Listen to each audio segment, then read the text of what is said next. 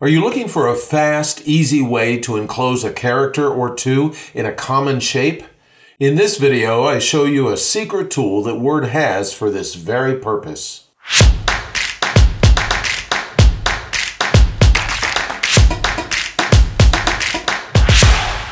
You may already know that Word allows you to add shapes to your document and then insert text within those shapes.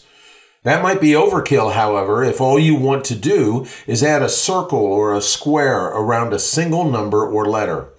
For this purpose, you would be best to utilize a secret tool buried within Word.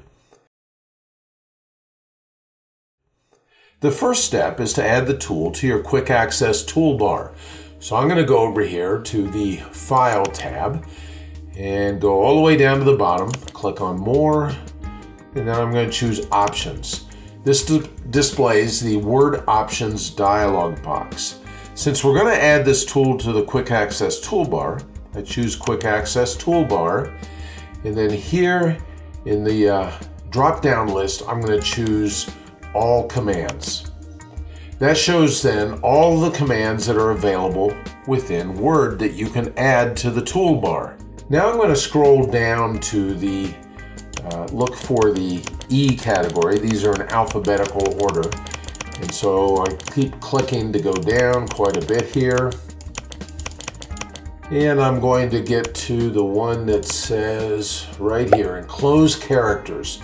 You can see it's got the three dots right after it. So I'm going to go ahead and click on that and then click on add. And it adds it over here to my quick access toolbar. When I click on OK, you can see that at the quick access toolbar area at the top of the screen, there's a new icon there for the tool that we just added. To use the tool, all you need to do is select one or two characters that you want to be enclosed. I wouldn't choose any more than two characters as that can lead to some ugly results. The tool works just great though with one or two characters. So I'm going to go right into the middle of my sample text here. And I'm going to select the number 1 because I want that enclosed within one of these shapes. And then all I have to do is just click on the tool right up here. And it displays a toolbox that says Enclose Characters. What you can do then is you can choose the style of how you want this particular shape to be handled. It can be done either uh, with no change to the text itself, in other words, to the number one, or you can shrink the text to put the shape around it, or you can just make the symbol itself larger without making any change to the text itself. I'm going to allow it to shrink the text, that's what's selected, and then choose which of these four shapes I want to go around that text that I selected. So for my purposes here, I'm going to go ahead and use this uh, circle. And when I click on OK, you can see, if I unselect this, that that number one has been shrunk down a little bit and the circle has pl been placed around it. I can do the same thing with a letter over here. All I have to do is select the letter that I want done and then I'm going to click on the same tool again. I'm going to still keep it as shrink text but this time I'm going to put a square around it. And when I click on OK, you can see that there's a square around that particular uh, character that I had selected in there. You have to understand that the way that Word does this is through the use of fields. So you can go and you can select this and you can press Shift F9 to expand the field and you can see the field that was used to create that particular enclosure within that text. What that means is, is that if you wanted to change the letter or the number that's within the text, you have to do it within the field itself. And I would do that just by choosing, in this case, the A and making it a B and pressing F9 and now you can see that it's a B within that square. I want to talk to you a little bit about the styles that are used within this enclosure method or this enclosure tool that we're talking about here.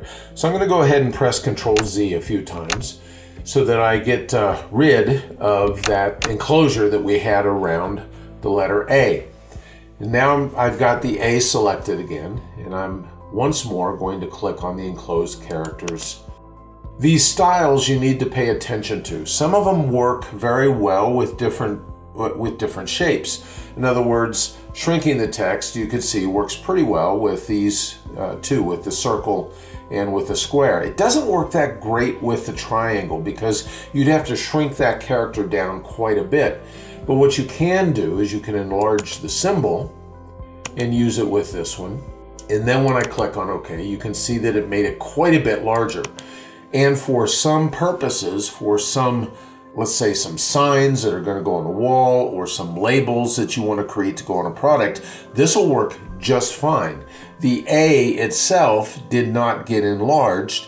It enlarged the shape that went around that A, which made that whole line much taller, and that's why it opened it up uh, within the paragraph here so that you have so much space in between the lines.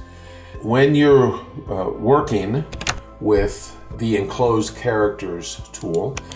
You have to play with this a little bit to get exactly the look that you want for what you're trying to accomplish by enclosing the characters. We'll do this with the enlarge one more time. Click on OK and you can see what it did there. It didn't quite center the letter within this. So for my particular purposes, this may not have worked but a different shape and a different style for applying that shape would have worked.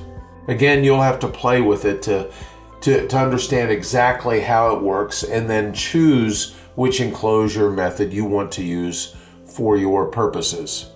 I hope you found this video helpful. This hidden tool in Word can be a great way to easily enclose a character or two. If this video was helpful to you, you can help me by clicking the subscribe button and the bell icon. That way YouTube will let you know whenever I add any new videos to the Word Tips channel. Thanks for spending a few minutes with me today.